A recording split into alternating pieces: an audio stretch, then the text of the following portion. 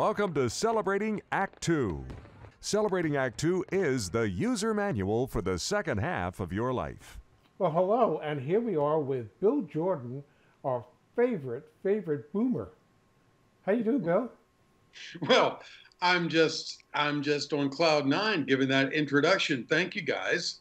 Hey, Bill, it's uh, it's that time of the year when we have all these. Uh, I call them the uh, what's what's the name of that Hallmark? I call them the Hallmark holidays: Mother's Day, Father's Day.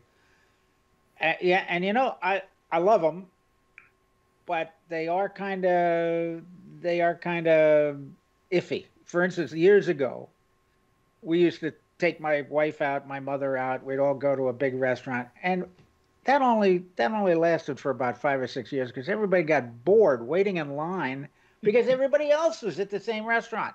So we all said, "We're not going to do that. We're going to stay home and enjoy life." Now, who knew that everybody had a mother? I mean, really?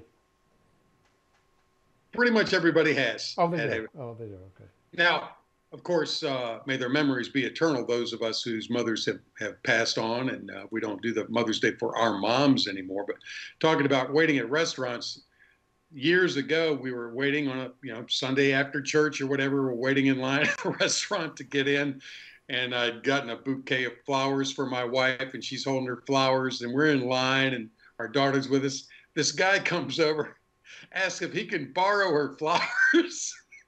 Goes, what? puts them with his mom or his wife or whatever, takes a picture, comes back, brings us brings us their flowers back. True story. I swear to you, true story. It's like he knew that he got caught. He didn't have flowers for. that's our, the whole Hallmark thing, you know, that started back on Valentine's Day, right? And I probably did, yeah. Mm-hmm. A side note that I'm sure you guys have thought this: when you look at a card these days and you flip it over and you're going like, whoa. Yeah. You want, you know, eight bucks for a card? it's like we need to get into the greeting card business, you know. Well, you, so, you, you really hit the nail on the head because if you look, you know, you go in and there's racks of aisles and aisles of cards to choose from. And so you, you look at all these fancy cards, they're gilded and they got embossed and they're something, and you flip them over and you see the shocker, uh, sticker shock. Uh, so you look for something simple and plain, and then you end up with the the blank note card. It's got a nice little picture on the front. You flip it up and, and you write your own note. There's no saying inside. Three bucks. Yeah. Three bucks. Yeah. Yeah. For nothing.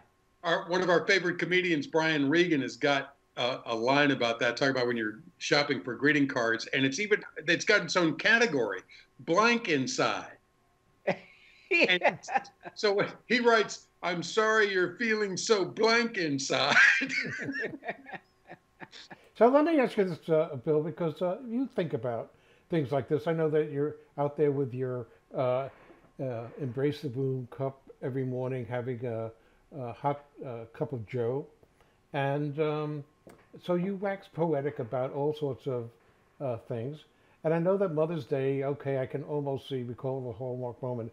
But then, then they ran out of cards to sell for that, so they came up with a Father's Day. And I want to know when are they going to come up with a, a, a son's day, a daughter's day, a pet day, and maybe a donut day, which I could probably embrace. Well, there there is a donut day. I don't know if there's a card for that, but uh, there we just had not too very long ago was like National Puppy Day. There are National Pet Days. There's even a National Cat Day, I think. Um, our daughter in growing up when she grew up around you know obviously me and her mom so we're we're celebrating mother's day and father's day and she was just a little kid and she said when is it going to be kids day? Mm-hmm. every day is kids day. Yeah every day is kids day. So uh, there's a great you guys may remember this jimmy dean you know jimmy dean sausage and stuff like that. You sure know, sure. You remember he did a piece for mother's day called i owe you and look it up on YouTube sometime. I owe you just the letters, and it's for Mother's Day, and it'll, it'll just grab you and, and you'll get a little something in your eye. You may get a little something in your eye and in your throat listening to that. Um, I subscribe to uh, supporting and treating my wife for Mother's Day, I know there's a big thing about you know husbands saying, "Well, she's not my mother," and uh, maybe some wives will say, "Well, he's not my father." But around here, I honor her with a little something for Mother's Day, and she'll honor me with something for Father's Day. But here's the difference to me: with Mother's Day coming up, we see ads for jewelry and trips and spa days and this pampering and you know yeah dinners out and all that and the flowers father's day what do we see? Here's a new attachment for your leaf blower. Think about it. There's a huge difference in how we view gifts for dad versus gifts for mom. I'm not saying it's right or wrong but that's really how i sum it up. It's you know she's getting this and guys are getting what and also hey the the moms will often say that maybe they do want a pampering day but they'll often say i want to spend it with my family. Guys are like how do you want to spend father's day? I want to go play golf. To, be, to be as far away from the kids as he can. Well so, i got myself i got myself a a, a very special father's day uh, gift because i care about me and it was a screw extractor. So uh, it was a set because it could do um, Phillips heads and slotted heads, and you know when they really stripped, okay. And it's really it's a process, uh, but I, I feel gifted, and that takes care of me for a couple of years. Okay.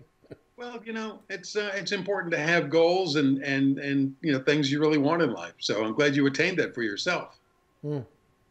All right. Well, happy uh, Mother's Day to all of us and all of the people watching, and especially the three of Day. us, especially the three of us for having created Mother's Day within our own small community of well, families. You know, I've told her, you know, Happy Mother's Day. Uh, even though I had just a teeny tiny role in the process, uh, thankful that you know, thankful for moms. Mm. For more on Celebrating Act Two, visit our webpage, follow us on Facebook, subscribe to us on YouTube, and tell your friends. Celebrating Act Two is the user manual for the second half of your life.